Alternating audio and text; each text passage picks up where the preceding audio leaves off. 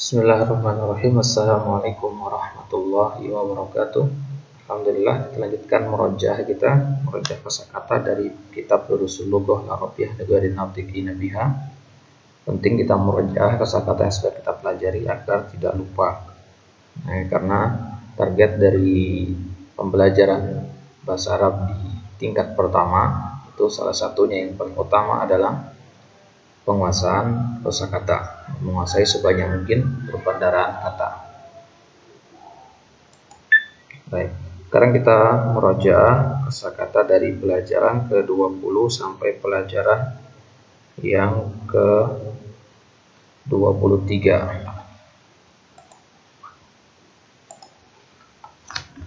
Baik, di sini pelajaran ke-20 ini juga masih tentang adat madud tapi madudnya yang muannas. Sebelumnya di pelajaran pelajaran ke-19 itu madudnya muzakkar. Taib nama-nama tempat ini tidak perlu dijamak. Uktun jamannya akhawat akhun jamannya ikhwah. Zamilatun ini jamannya zami zamilatun jamannya salim tapi kalau muzakkar zamilun ini jamannya jamannya jamak taksir zumala. Itu bedakan ya. Zamilatun zamilatun zamilun zumalau. Tapi ini dia contoh-contoh ya, dari ma'dud muannas. Dan kita ingatkan juga perbedaan antara mudzakkar dan muannas di kata asyru. Ya, kalau asyru buat muannas ma'adudnya mu'anas kalau mudakar asyaratu perbedakan perhatikan di harokat shinnya. Ada yang fathah ada yang sukun. Kapan fathah? Kalau ma'adudnya mudakar kapan sukun? Kalau ma'adudnya mu'anas Baik jamiah. Jamanya jamiat. Kulliyat. Sini jama dari kulliyah jama salim. Baik gampang-gampang semua majallat artinya majalah ya. Jamaknya dari majallatun majalah.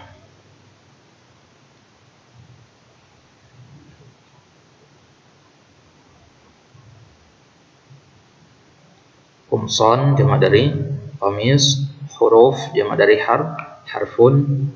Kalimah ini jamaknya jamak mana salim ya. Kalimatun artinya kata.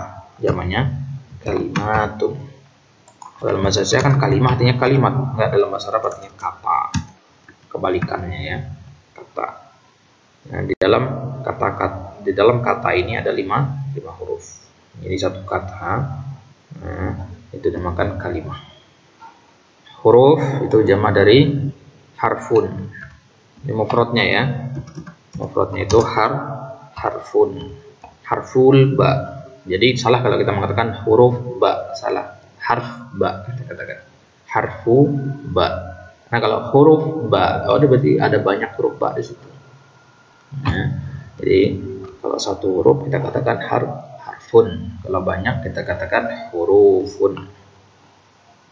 Rijal jama dari rojulun nisa jama dari imratun baik sayyaratun ini sudah semua.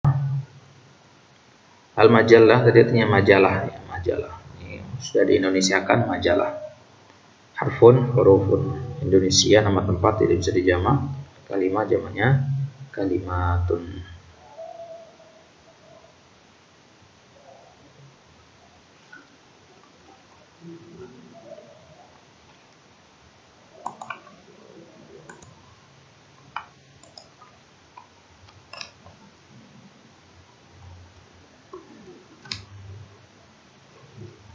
Ad-Darsu Al-Hadi wal Ishrun. Sini dikasih data teks. Pertama kali ada teks di sini. Di sini mengumpulkan pembahasan-pembahasan sebelumnya dari adat ma'dud, sifat mausuf, dan domir ya, dikumpulkan di sini. Baik, madrasatun, madrasatun jamannya jamannya madarisu, mamnu minas saraf. Madarisu. Ini sudah dijamak semua nih kursiun makatib bilad nama-nama tempat nama-nama orang. Alwan alwan itu jama dari launun. Lau launun. Artinya artinya warna. Laun artinya war, warna. Launun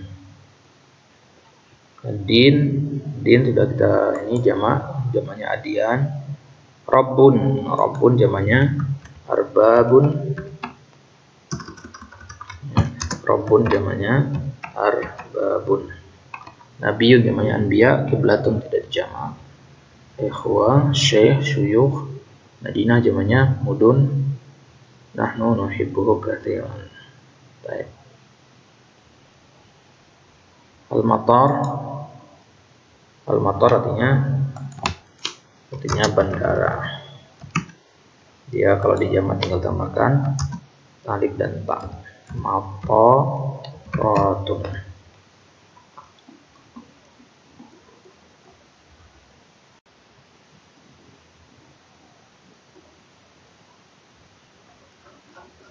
Kemudian pelajaran yang ke-12 ini juga berbentuk teks.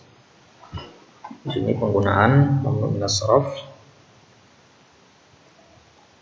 Pelajaran tentang mamnu minas di sini. Tabibun sudah mudarrisatun, ini jamaknya jamak mana salim. Kemudian nama-nama orang tidak perlu dijamak. Kalau dia laki-laki maka tambahkan waw dan nun. Kalau dia perempuan maka tambahkan alif dan ta. Itu saja.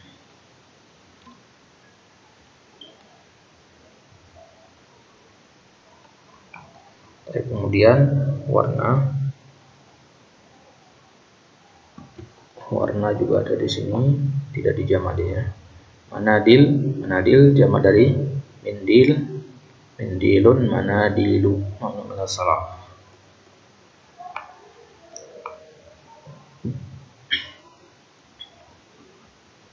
ulama jamak dari alim. Satu orang alim banyak ulama.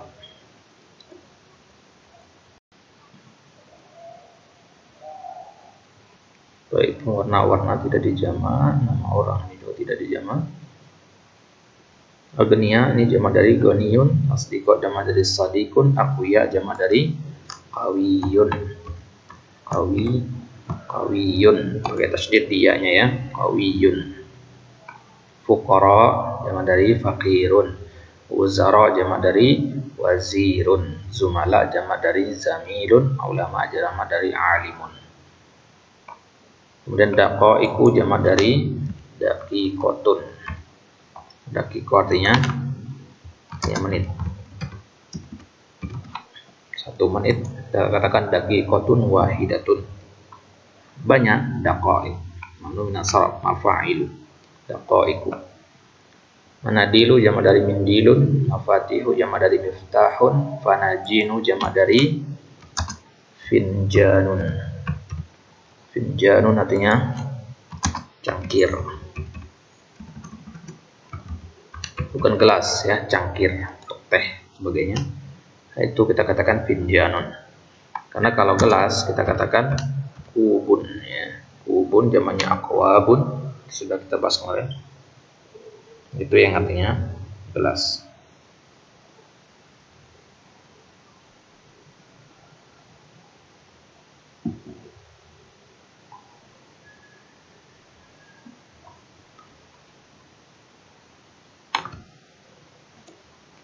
Tapi kemudian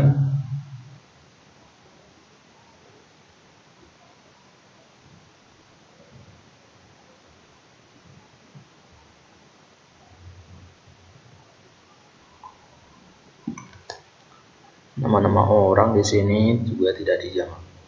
Ya. Ini kemudian ada beberapa kata sifat di sini. Baik, hanya itu saja. Ini ada kata kerja di sini kola dan kolat. Kolat ini berkata. Ya, ini kata kerja.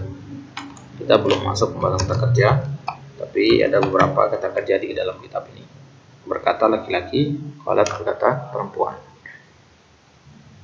Taib Mindil, Manadil, Miftah, Marfatih. Taib. Kemudian pelajaran, pelajaran yang terakhir dari kitab ini yaitu pelajaran yang ke-23. Di sini bagaimana penerapan dari mamnu minas dalam kalimat. Itu anamin Pakistana. Seharusnya Pakistani tapi karena dia mamnu minas maka dia tidak boleh mencukup dengan kasrah sebagai gantinya dengan fat fathah. Kemudian ada berapa lagi di sini? Ini kata-katanya sudah insya Allah sudah tahu semua artinya. Yakub, Makkah, Riyadh itu tidak bisa di tidak bisa dijamak karena dia nama alam, nama tempat dan nama orang. Riyadh itu alif lamnya dari sana sudah ada ya. Tidak boleh ditambahkan alif lam. Makkah. Al-Mudir sudah ada kaik yang dari Dakiko. Ukhtu Marwan, Marwan nama orang ya. Zauj namanya az azwajun.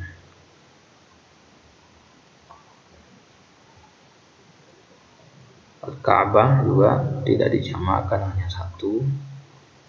Kemudian Al-Baitul Haram fi Makkah. Al-Baitul Haram juga tidak dijamak. Ini nama-nama tempat. Abbas, Nu'man, ini nama orang, tidak perlu dijamak. Ini masjidun zamannya masajidu fundukun fanadiku mindilun manadilu iftahun mafatihu sadiqun asdiqa'u zamilun zumala kursiyun karasiyu madrasatun madarisu daqiqatun daqa daqaiku taib itu akhir dari merojah kita dari pelajaran yang pertama sampai pelajaran yang ke-23 diulang-ulang terus lagi kosakata-kosakatanya uh, untuk melekatkan mufradat kosakata ini. Jadi jangan diremehkan menghafalkan kosakata ini karena penting sekali uh, untuk menunjang kemampuan ber berbahasa Arab atau kemampuan untuk memahami kitab-kitab berbahasa Arab. Baik, kita cukupkan sampai di sini. Allah taala alam. Naktafi bihadzal qadar wa naktafi bidu'ai kafatul majlis. Subhanakallahumma bihamdik. Asyhadu an la ilaha illa anta astaghfiruka wa atubu ilaik. Assalamualaikum warahmatullahi wabarakatuh.